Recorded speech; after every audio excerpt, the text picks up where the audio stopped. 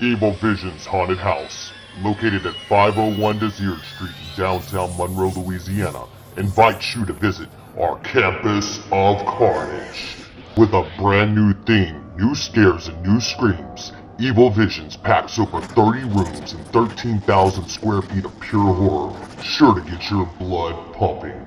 Make sure you like us on Facebook and visit us on the web at evilvisionsmonroe.com.